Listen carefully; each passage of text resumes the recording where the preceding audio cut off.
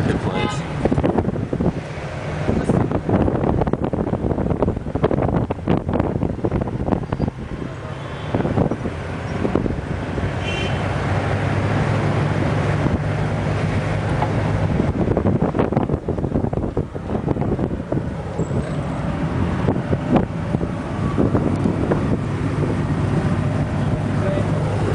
Nothing. Uh, he asked about the ironwood and uh, Black Six. Black Seven had that was the tan fucking vehicle. Yeah, back Black. Six broke in and told him he was he was in between uh, Black Six and Black Seven.